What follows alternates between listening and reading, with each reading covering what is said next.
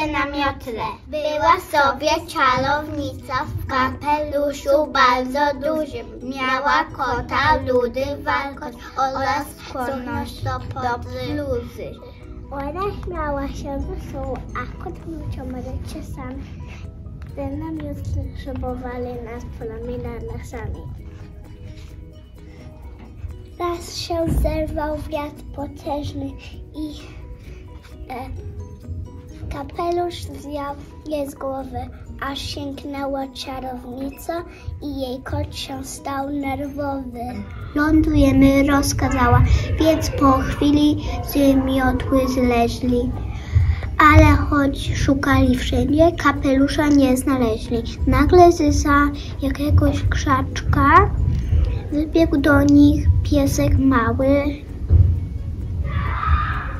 który w zębach niósł kapelusz i był z tego dumny cały.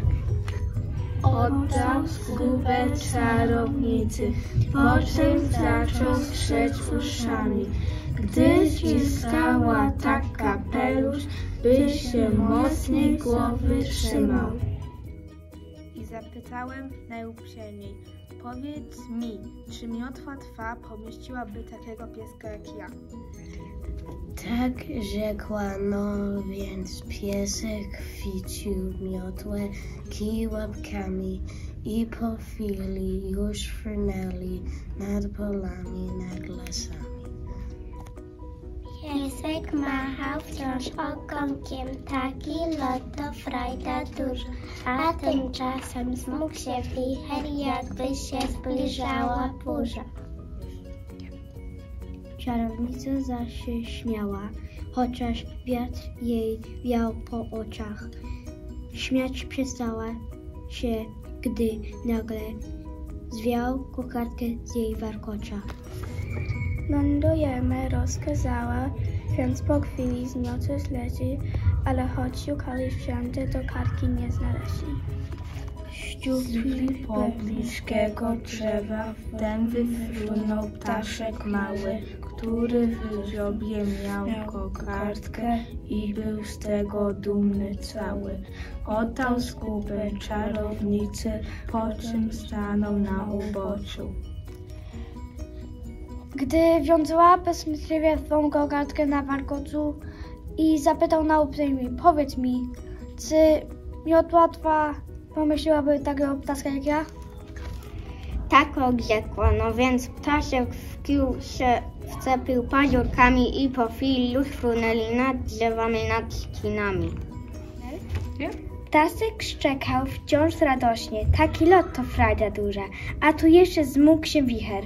Serio się zbliża burza. Czarownica pilnowała, by nie zwiało wiatru siła, kapelusze i kokardki. I wtem różkę opuściła. Lądujemy, rozkazała, więc po chwili z miotły zleźli. Ale choć szukali wszędzie, różki nigdzie nie znaleźli. Stop. Nagle za jakiegoś krzaczka wyskoczyła żabka mała, co trzymała w łapce różdżkę, będąc z tego dumna cała. Stała z guby czarownicy, po czym robić śmieszną minę. Gdy ta różdżka wycierała wypał swojej peleryny, zapytała najuprzejmiej, powiedz mi, czy miotła, e, miotła twa pomieściłaby też taką żabkę jak ja? Tak, odrzekła czarownica. Żabka więc wskoczyła śmiało i po chwili już widzieli z góry okolice całe, hen pod nimi góry bagna, ale żabka się nie zlękła, lecz z radości tak skakała. Zem się miotła wypół rozpękła. Wtedy kot i pies i żaba, ale zbyło widowisko. Pospadali koziołkując prost w okropne trzęsawisko. Resztę kija z czarownicą wypadli zaś w buzowe chmury, z którąć dobiegli niespodziewanie ryk złowrogi i ponury. Jestem bardzo groźny smok. Mam ochotę na smażoną czarownicę oraz sok. Nie! krzyknęła czarownica, uciekając wyżej, dalej.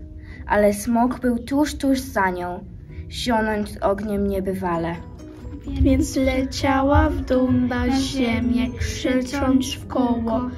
Hej, pomocy, ale nikt nie odpowiadał. Wśród zapadającej nocy smok był za to coraz bliżej, wreszcie zaszedł wiedźmy z boku. Spojrzał, zmasnął i powiedział, mogę zjeść cię i bez soku. Właśnie gdy się zastanawiał sok bez soku, oto kwestia. Z bagna wtem się wyruła jakaś przeokropna bestia. Była wielka, obrzydliwa, co sekundę nikoprzydła. Miała cztery straszne głowy, pióra, futro oraz skrzydła. Gdy się wreszcie odezwała, głos jej brzmiał dość niespo, niesapos, niespodzianej, jak ćwierkanie i skrzyczenie i miauczenie i szczekanie. Gdy się całkiem wynurzyła, czterogłowa potworzyca, to krzyknęła tylko puść ją, to jest moja czarownica. Smok zazwyczaj bardzo śmiały, spadł w okropne przerażenie. O, przepraszam, wymamrotał, to jest nieporozumienie.